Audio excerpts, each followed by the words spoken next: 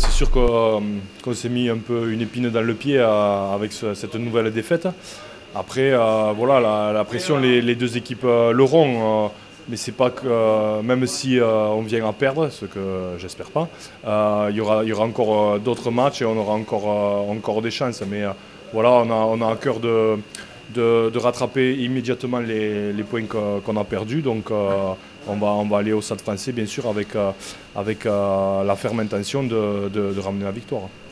Il faut se méfier, bien sûr. On a, moi, j'ai fait partie du groupe à Castres quand, on était dans, le même cas qu'eux. Que donc voilà, c'est une grosse équipe quand même. Il va falloir, falloir s'en méfier. Et, et, rester la tête froide surtout. On perd à la maison, on se, va pas se féliciter et puis se prendre et se faire des câlins quoi. Donc euh, forcément qu'on s'est dit les choses euh, qu'il fallait se dire.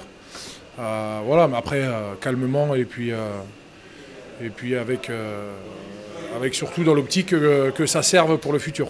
Il reste 7 matchs, 7 matchs capitaux. la, course aux phases finales est lancée, donc à un moment donné ce qui est fait est fait. Voilà. Malheureusement, on ne peut plus changer. Et par contre, ce qui, ce qui est devant nous, euh, voilà, ce match du Stade français euh, peut nous permettre de, encore une fois, je dis bien encore une fois, parce que c'est quand même trois, fait trois fois qu'on perd à la maison, donc encore une fois, essayer de rattraper ce faux pas à la maison.